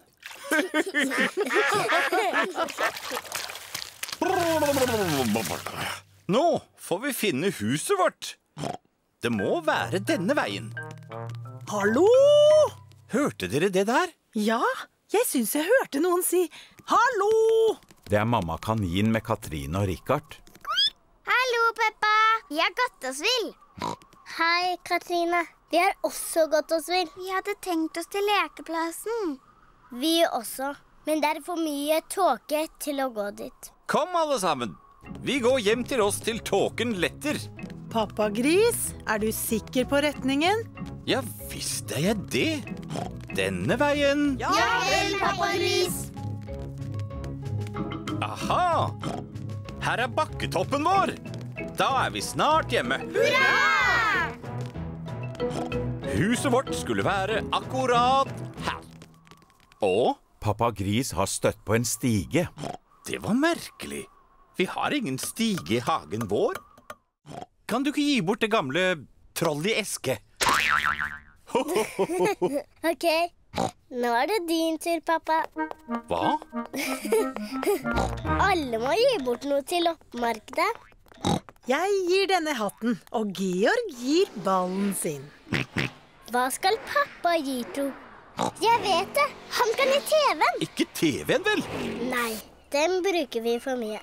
Um, jeg har det! Pappas stinkende tøfler. Nei, lukter for vondt. ja, jeg vet det. Pappas gamle stol. Men den er antikk. Hva betyr det å være antikk? Det er når noe er veldig gammelt og verdifullt. Men du fant den jo på fyllinga, pappagris. Den er ikke verdt noe. Den blir mye verdt når jeg får lappet den. Det har du sagt i evigheter, pappagris. Nå har jeg det. Jeg gir disse fine sokkene jeg fikk av bestemor. Fint. Jeg har kommet for å hente tingene deres til loppemarkedet. Her er de. Tusen takk. Og vil du ha med denne gamle stolen? Å, ja, så snilt av deg. Ha det bra. Ha det. Mamma, du ga jo bort pappas stol. Hysj, ikke si noe. Han merker det ikke. Så er dagen kommet for loppemarkedet. Hallo. Hallo, fru kanin. Peppa, hva med denne stolen? Den er litt utslitt, men den kan jo hogges opp og brukes til peisved. Men den er antikk. Jaså? Pappa sier at den er verdt masse penger. I all verden. Da får jeg sett opp prisen. Ha det. Her kommer Katrine Kanin med lillebroren sin, Rikard Kanin. Hei, Katrine. Hei, alle sammen. Rikard, hold på dette brettet, så kan du øve på å sparke med beina. Georg, vil du prøve å sparke med beina?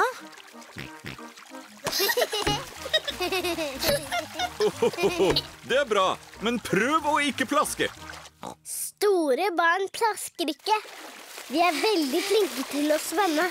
Når Georg og Rikard blir større, kan også de svømme som oss. Ikke sant, Katrine? Jo. Å, Rikard har en lekevannkanne. hold opp, Rikard. Uff da, Rikard mistet vannkanna si ut i bassenget.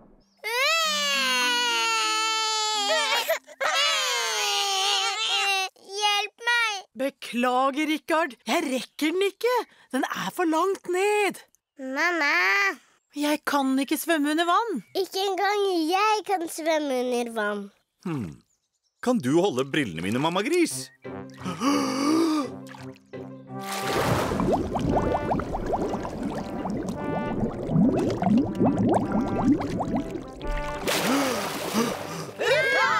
Ho-ho, Vær så god.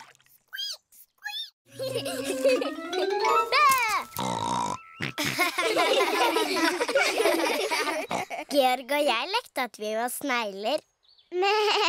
Kan vi også være snegler? Jeg tror ikke jeg har nok kurver til alle sammen. Åh. Men dere kan jo være noe annet. Noe spennende fra hagen. En gulrot? Katrine Kanin liker gulrøtter. Nei, Katrine. Ikke gulrøtter. Kom og se her. Hva er den summelyden? Den kommer fra det lille huset der. Bestefar, hvorfor lager det dukkehuset den rare summelyden? Det er ikke noe dukkehus, Peppa. Det er et hus for bier. Det heter en kube. Se, her har vi en bie.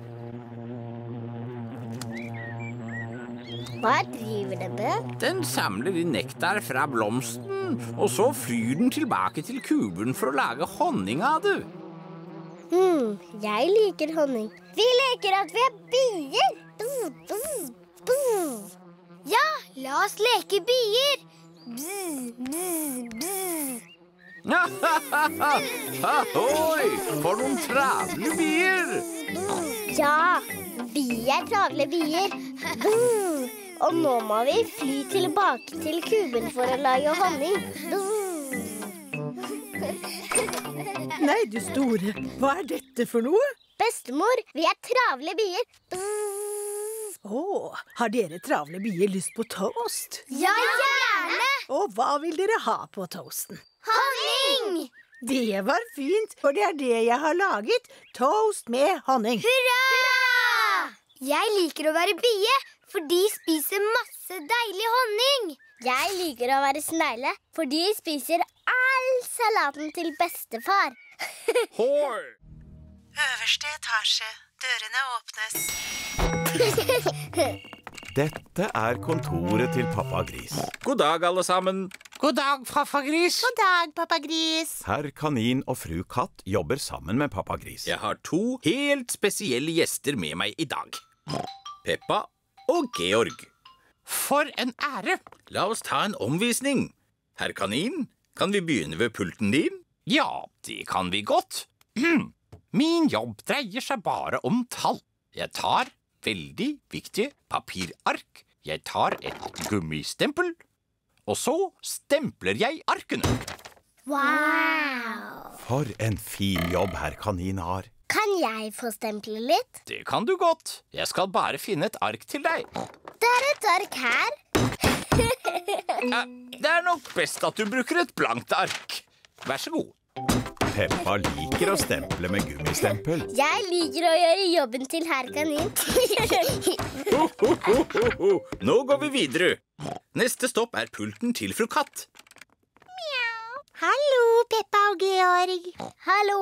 Jobben min handler om å tegne former i en datamaskin.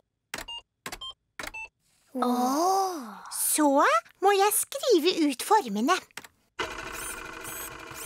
Wow! Og her er en kopi til. Tusen takk. For en fin jobb fru Katt har. Kan jeg få prøve? Kanskje det er Georgs tur nå. Det er sant, Georg. Nå er det din tur til å jobbe.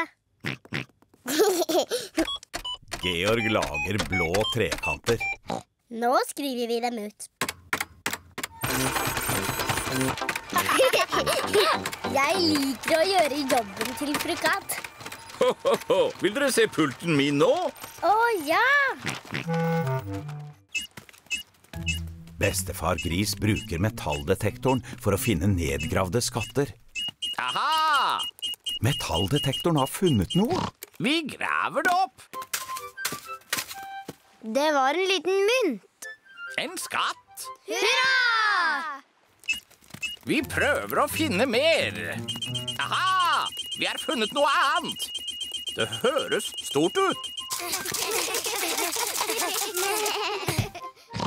Du store min, den skatten vi har funnet nå er jammen tung. Huff da, det er vel ingen skatt. Det er jo en rusten gammel handlevogn. Åh, Kanskje vi har lett nok etter skatter. Hvem blir med og bygger et digert sandslott? Jeg, jeg, jeg! for en god idé, bestemor Gris. Jeg skal bare se til båten. Bestemor Gris hjelper barna å bygge et digert sandslott. Og bestefar Gris gjør viktige ting om bord på båten. Ah, dette er herlig. Ah, Kanskje jeg bare skal lukke øynene et lite øyeblikk. Bestemor og barna bygger et digert sandslott. De trenger masse, masse sand. De bruker bøtter til å lage tårn på slottet. For et flott sandslott. På tide å dra hjem. Åh, hvor er båten hen? Se, bestemor! Å nei, bestefar Gris har sovnet, og båten driver av gårde. Vi må få vekket bestefar. Rop så høyt dere kan. Bestefar Gris! våkn opp! Våkn opp! Å nei, bestefar Gris bare sover videre. Han er for langt unna til å høre oss. Da må vi bli her på Sjørøverøya. Vi er skipbrudene. Vi må være her i 100 år. Og da må alle sammen spise ville frukter og bær. Georg vil ikke ha på seg sydvesten sin. Peppa! Georg! Kom inn nå! Det regner for mye til å leke ute nå. Å, Georg. Hvor er sylvesten din? Georg er blitt forkjølet. Å, stakkars lille Georg. Du høres ikke bra ut. Ikke vær redd. Jeg ringer doktor Brunbjørn. Du snakker med doktor Brunbjørn? Jaha. Du får legge Georg, så kommer jeg innom. Takk for det, doktor Brunbjørn. Adjø. Må Georg kjøres på sykehus og få medisiner? Nei, han må bare gå og legge seg. Å, så Georg er ikke egentlig ordentlig syk? Å, så innmari ekkelt! Stakkars Georg. Nå må vi få deg i seng. Georg, nå må du holde sengen en stund. Nei. Georg vil ikke holde senga. Hatsju! Georg, du må holde senga til du er bedre. Hvorfor det? Fordi du må holde deg varm. Hvorfor det? Uh, fordi doktor Brunbjørn sier det. Hallo, hvor er pasienten min? Gap opp og si A. Georg er litt engstelig. Hm, Peppa, du er stor og modig. Kan du vise Georg hvordan han sier A? Det er klart. Ah. Ah. Hm, Georg har en forkjølelse. Trenger Georg medisiner? Nei, men han kan få et glass varm melk ved sengetid for å hjelpe ham å sove. Takk, doktor Brunbjørn. Ingen årsak. Adjø.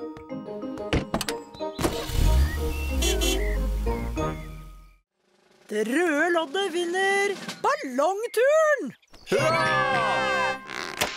Alle om bord til ballongturen! Hvor mange passasjerer blir det? Fire, takk. Og Teddy. Dinosaur. Å, og en teddy og en dinosaur. Det blir seks. Alle om bord! Hei, pappagris, hopp om bord! Fort, pappa. Splitte mine bramseil, kast anker. Full fart forover!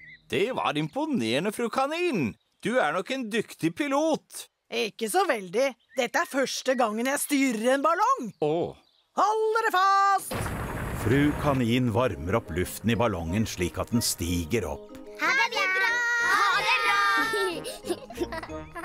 Er det noen som kan lese kartet for meg? ja, jeg. Er du sikker, pappagris?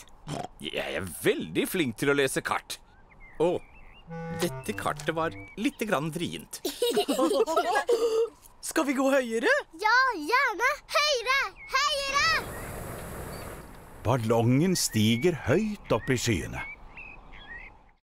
Å, hvor er himmelen hen? Ikke vær redd, Peppa. Vi flyr bare gjennom en sky. Wow! Himmelen er tilbake igjen! Hurra!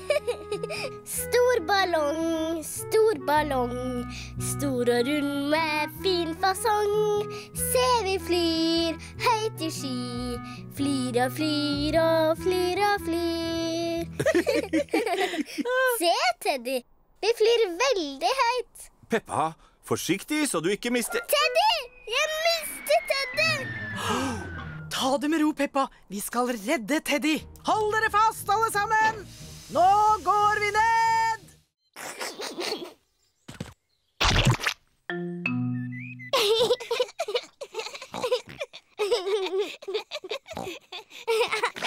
Peppa og Georg elsker å hoppe i søledammer.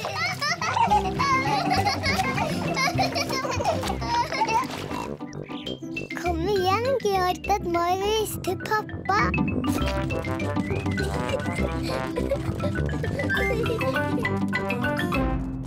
Du store min.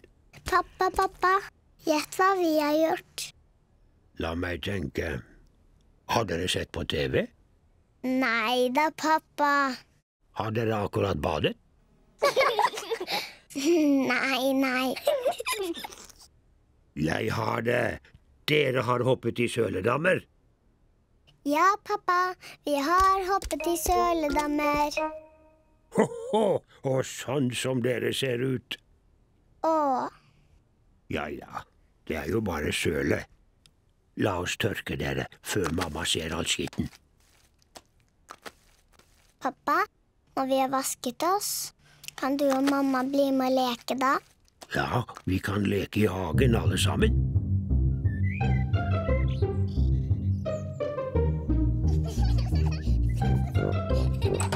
Peppa og Georg har på seg støvlene sine.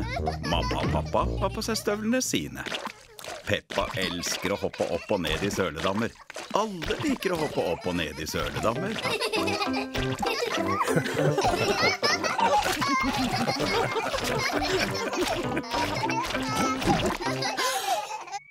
Å, pappa gris.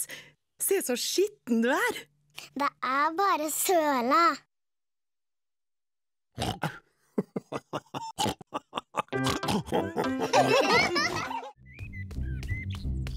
Yndlingsleken til Georg er å kaste ei dinosaur opp i lufta. Og fange ham når han faller ned igjen.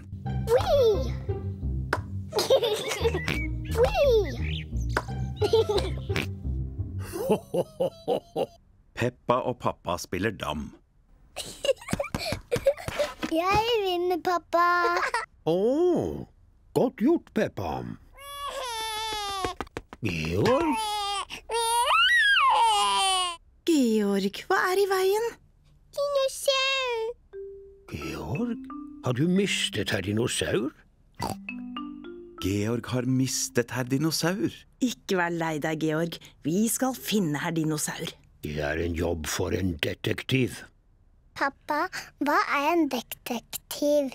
En detektiv er en veldig viktig person som er flink til å finne ting. Jeg, jeg er veldig flink til å finne ting. Ålreit, Peppa er detektiven. Georg, jeg er detektiv. Jeg skal hjelpe deg å finne herr dinosaur.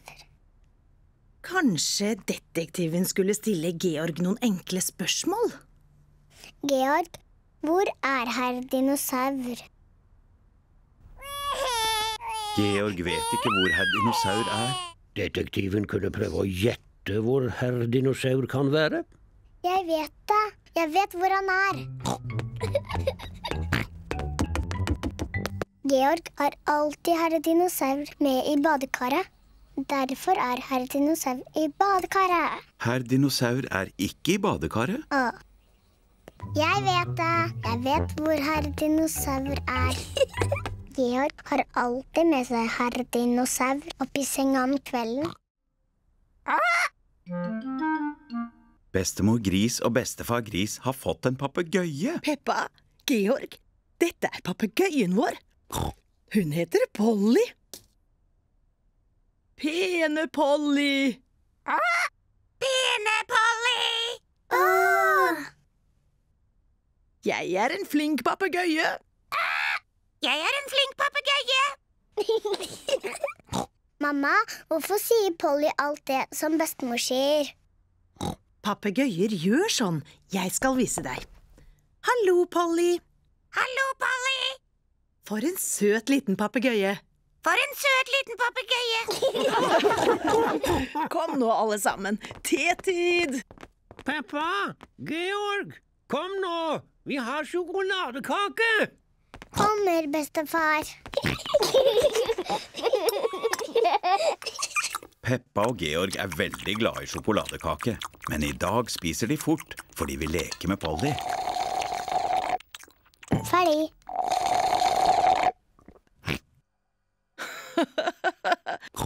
For noen små bråkmakere dere er. Bestemor, kan vi få gå fra bordet for å se på papegøyen Polly? Er dere sikre på at dere er ferdig med sjokoladekaken? Bare gå, dere. Hurra!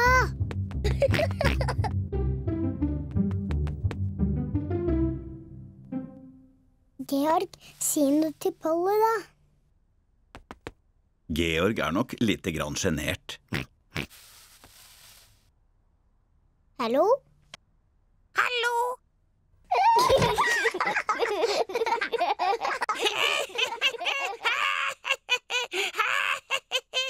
Peppa og Georg liker å leke. Mamma, kan vi spille det PC-spillet? Glade fru høna?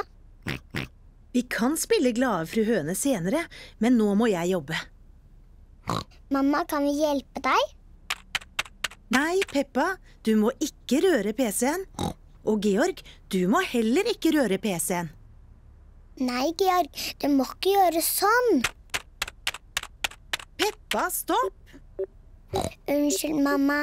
Jeg skulle bare vise Georg hva han ikke måtte gjøre. Å nei, nå begynner PC-en å oppføre seg merkelig. Pappa Gris! Pappa Gris! Hva er det, mamma gris? Pappa Gris, kan du reparere PC-en? Ehm, Jeg gjør ferdig maten mens du fikser PC-en. Uh, jeg skal prøve, mamma gris, men jeg er ikke så veldig flink til sånt. Tusen takk, pappa Gris. Nå skal pappa Gris reparere PC-en.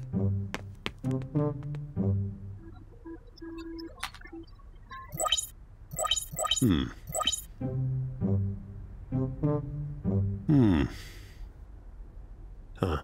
Kanskje jeg bare skal slå den av. Og så slår den på igjen. Pappa Gris har reparert PC-en. Hurra, pappa! Ja, jeg er nok litt av en ekspert på slike ting. Pappa, kan vi spille det PC-spillet Glade fru høna? Kanskje du skulle spørre mamma Gris? Mamma sa at vi kunne spille det senere. Da er det i orden, da. Men jeg vet ikke hvor CD-en er.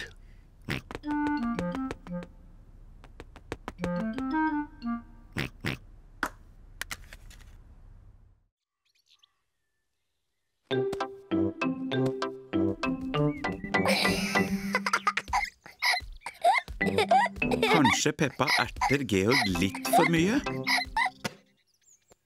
Peppa, har du ertet Georg? Ikke på ordentlig, mamma. Jeg bare lærte han å ta imot. Sier du det? Men jeg vet om en lek som kan lære Georg å ta imot. Den heter Nøff-Nøff i midten. Peppa, du tar ballen og står der borte. Og Georg, du står der. Fint! Dere skal kaste ballen til hverandre, og jeg skal prøve å få tak i den. Jeg er Nøff-Nøff i midten. Mamma er nøff-nøff i midten. Ta imot, Georg. Å, jeg bomma. Georg tok imot ballen. Hurra! Godt gjort, Georg. Kast nå ballen til Peppa. Ops, prøv igjen. Å, prøv igjen. Georg klarer ikke å kaste ballen forbi mamma Gris. Kom igjen, Georg. Gi ballen til meg.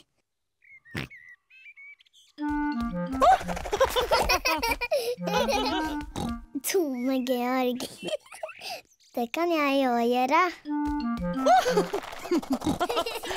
Peppa vil gjøre det samme som Georg, men hun er for stor og blir sittende fast. Jeg har ballen. Peppa, nå skal du være Nøff-Nøff i midten. Georg, ta imot. Hurra! Jeg har den. Georg, gjør nøff-nøff i midten. Georg, ta imot. Ta imot ballen, Georg. Noen ganger mister pappa brillene sine. Peppa, Georg, har dere sett brillene til pappa? Han kan ikke finne dem noen steder. Nei, mamma. Peppa og Georg vet ikke hvor brillene til pappa er. Å, kjære. Pappa kan ikke se noen ting uten briller, og dessuten blir han så sur. Pappa Gris kan ikke lese avisa uten brillene sine. Dette er latterlig. Jeg kan ikke se noen ting. Noen må ha rotet bort brillene mine. Kan du huske hvor du la dem sist, pappa Gris? Når jeg ikke har dem på meg, putter jeg dem alltid i lomma. Men de er ikke der nå. Pappa, skal vi hjelpe deg å lete etter brillene dine? God idé, Peppa. Hvis dere finner dem, så blir ikke pappa så gretten. Jeg er ikke gretten. Peppa og Georg leter etter brillene til pappa. Peppa leter under avisa, men brillene til pappa er ikke der. Åh, Georg kikker opp på TV-en, men brillene til pappa er ikke der heller. skal vi se opp på soverommet til mamma og pappa?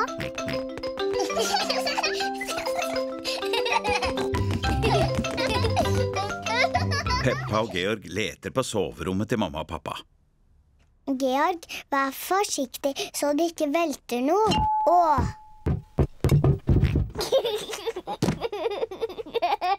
Det var ikke morsomt. Peppa leter under putene, men brillene til pappa er ikke der heller. Åh.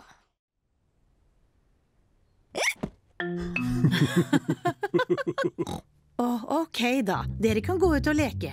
Men pass på, Georg.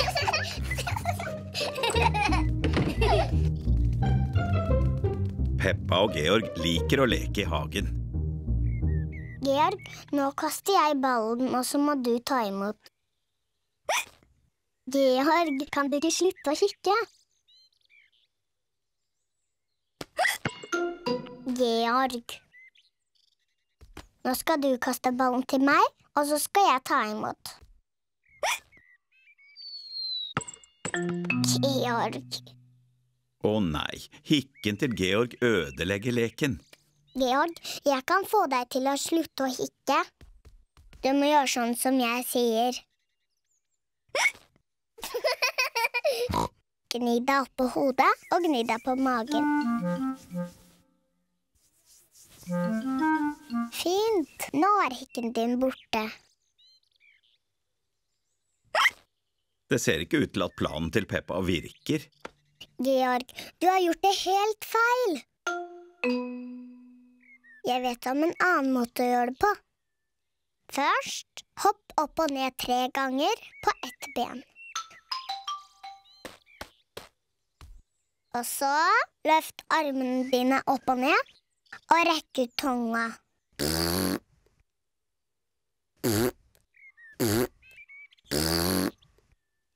Og så lukk øynene og snu deg rundt fort. Tre ganger.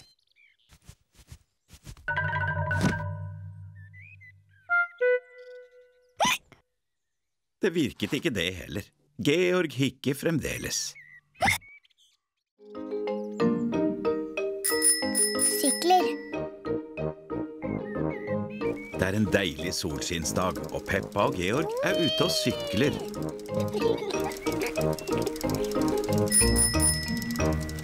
Det er et flott gresskar, pappa Gris. Pappa Gris er veldig stolt av gresskaret sitt. Gresskar er det eneste jeg klarer å dyrke. Kanskje fordi jeg elsker gresskarpai. Kom igjen, Georg. Hei, Hasse, Sussi og Katrine. Peppa og vennene hennes, Hasse hund, Susi sau og Katrine kanin, er ute og sykler. Georg sykler på sin trehjulssykkel. Å, han sykler så sakte. Vi kjører om kapp til gresskaret til pappa Gris.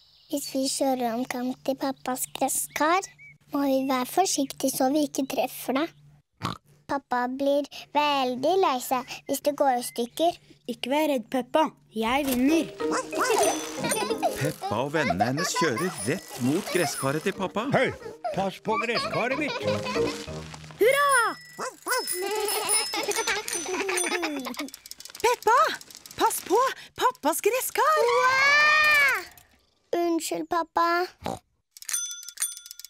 Se på Georg. Han sykler så sakte. Georg sykler på babysykkel ennå, han. Du har babysykkel du òg, Peppa. Du har støttehjulet på ennå. Jeg kan sykle uten støttehjul. Jeg òg. Jeg òg. La oss sykle opp bakken igjen. Kom igjen da, Peppa. Nei, jeg tror jeg blir her. Se deg senere. Ha det. Peppa skulle ønske hun ikke hadde støttehjul på sykkelen sin. Georg, dette er min hemmelige eske. Den er tom. Jeg må finne noe å putte oppi den. Georg vil hjelpe Peppa. Nei, Georg. Det er bare jeg som må vite hva som er i esken. Du må vente utenfor til jeg har bestemt meg. Peppa skal velge ut noen hemmelige ting som hun skal ha oppi esken. Nå er den hemmelige esken min full. Georg, du må ikke se inni. Georg skulle gjerne visst hva som er oppi esken til Peppa. Hvis du vil, kan du prøve å gjette. Dinosaur! Georg tror Peppa har puttet en dinosaur oppi esken. Å, Georg, du sier alltid dinosaur til alle ting. Dessuten er en dinosaur altfor stor til å få plass i esken. Georg klarer ikke å gjette hva som er inni Peppas eske. Pappa Gris tørker av et bilde. Pappa, dette er min hemmelige eske. Mamma har laget den til meg. Den er veldig fin, Peppa. Hva er inni? Det er en hemmelighet. Georg prøvde å gjette, men han greide det ikke. Kan jeg få prøve? Ja, Hm. Har du puttet brillene mine oppi? nei. Du har jo brillene på hodet. Der er de, ja. Tullepappa, du må gjette ordentlig nå. Ja vel. Har du puttet mammas sko oppi esken? Niks. Og alle gjettingene er brukt opp. Peppa liker hemmeligheter.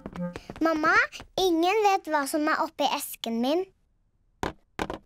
Å, hva er det Georg har? Jeg laget en eske til Georg òg, og han har fylt den med hemmelige ting. Og bare Georg vet hva som er oppi. Peppa Gris. Peppa Gris. Peppa